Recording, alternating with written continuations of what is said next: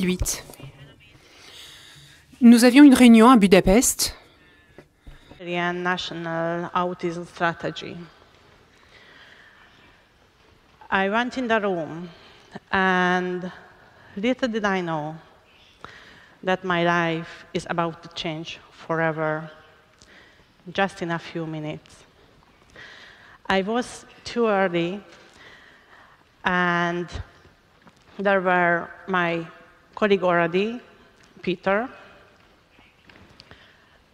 I sat next to him, and um, he looked at me and said, Wow, you look tired.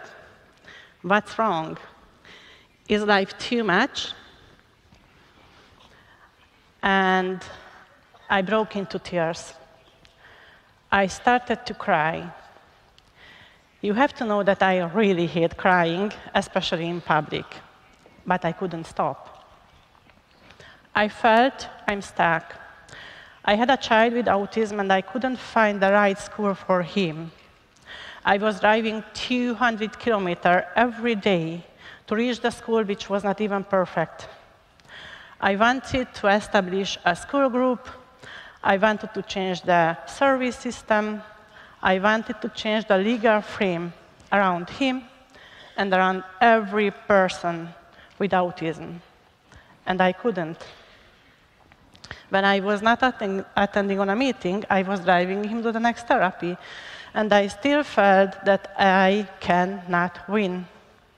It's not enough. It's never enough. Peter hugged me and said, It's okay. Do you know what is the first lesson that special need teachers learn? The very first lesson is sometimes you cannot be perfect, but you are good enough. So please believe me, you don't have to be perfect. You don't have to be good. You are good enough. I stopped crying. And on that day, I also stopped blaming myself. Not from one moment to the other, but slowly. I went to psychotherapy. I was studying autism on university. I read millions of books. But I started to stop, uh, stop blaming myself.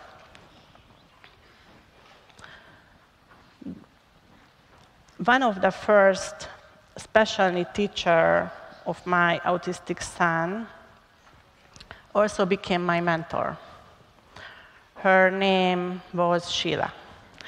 And Sheila was working continuously and amazingly with my son, and she also suggested me books and trainings to go. She was always there for us. I trusted her fully. Without a support, you are lost. In autism, there is no democracy. There are too much information out there. There are too many methods, too many therapies.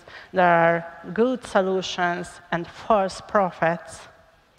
Without a mentor, you are lost. Doesn't matter whether you are a parent, a professional, or a person with autism, you need someone you fully trust, your go-to person. When my son was around eight years old, we had a pet, a tiny little cat we named Tiger.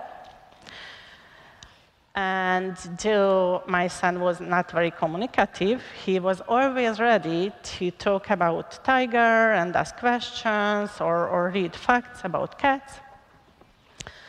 Sheila got the idea to create a tiger book for him as a language developmental tool, and that worked. So you see, Tiger was a very, very important person in our household. Years later, one night at 2 a.m., I called Sheila. And I have to admit, I was crying again. You know, I still hate crying. And she picked it up and um, asked, What happened? And I told her that in that night, our beloved cat died. And I just cannot bear it anymore. I don't know whether my son will stop communicating. I have no idea how he will survive that. I have no idea how to tell it to him. I want to give up. I want someone else to do it. Finally, she made me calm. We talked a bit.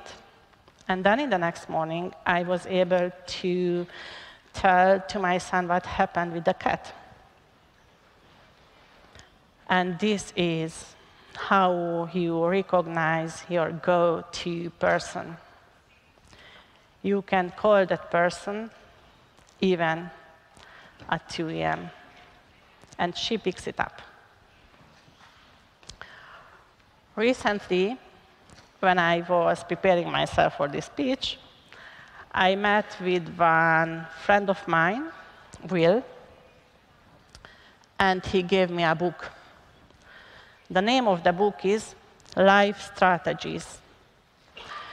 If there are American friends around, you will recognize the writer. The writer is Dr. Phil. Yeah, I know. So I started to read that book, and in the chapter seven, I found one line Life cannot be cured but life can be guided. And that was one of those wow moments in my life.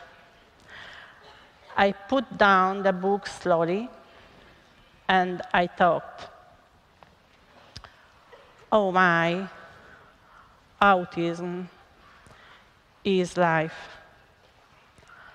Autism cannot be cured but can be guided.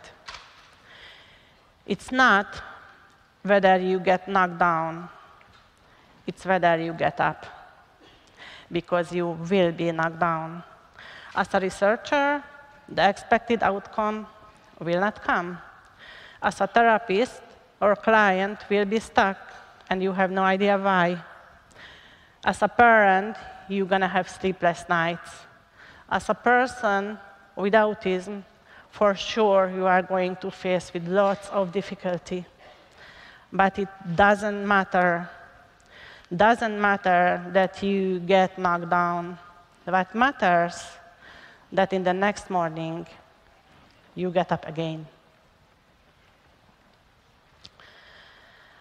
As a president of the Autism Europe for the last eight years, I brought you 3Gs today. I know that in mobile communication, 4Gs or 5Gs are more, more trendy, but I have only 3Gs. But I hope you are going to remember that. G1, good.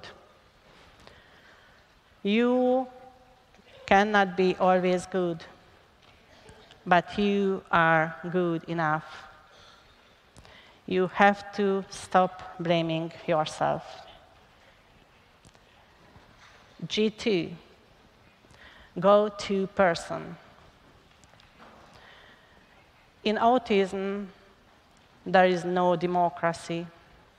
There are too much information out there. You need a mentor. You need a go-to person who you fully trust. Guidance.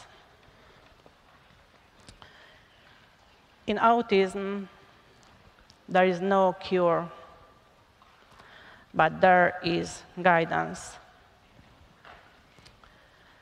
Today, as a proud mother of two bright young adults, I can stay here and I can tell you